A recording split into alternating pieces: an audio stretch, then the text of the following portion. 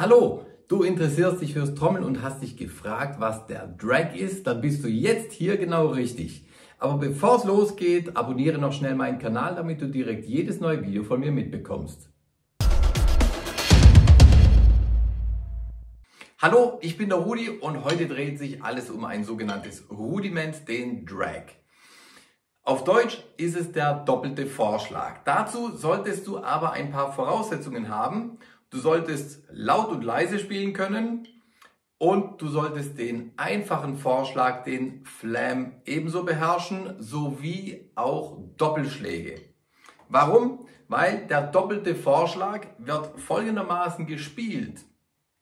Ich muss erstmal einen normalen Vorschlag beherrschen, das heißt, eine Hand spielt leise, die andere spielt laut. Das ist schon mal die Grundvoraussetzung. Und jetzt muss ich den einmal springen lassen, dass ein doppelter Schlag rauskommt. Dann klingt das so.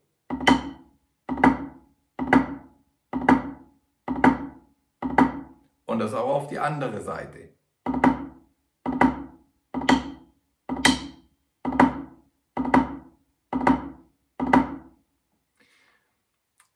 Ganz wichtig, trainiere unbedingt auch immer alles auf beide Seiten. Ein Schlagzeuger muss flexibel sein und mit jeder Hand führen können, weil das das Instrument einfach auch verlangt.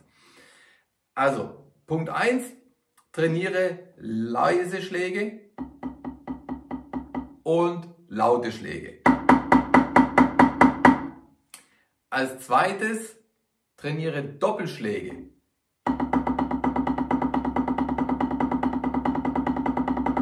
Ganz wichtige Grundvoraussetzung.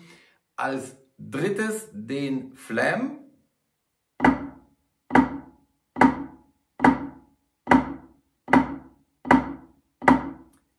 Auch wichtige Grundvoraussetzung. Und jetzt kannst du den Drag, den doppelten Vorschlag trainieren.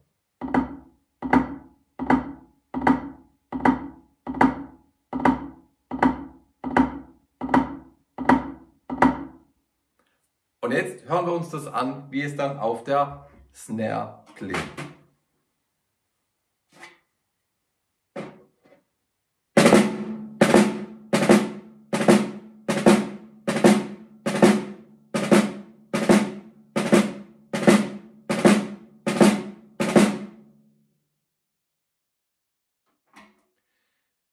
Ich hoffe, ich konnte dir weiterhelfen, dass du jetzt erstmal weißt, was ist das und was für Voraussetzungen brauchst du, um den Drag oder den doppelten Vorschlag überhaupt spielen zu können.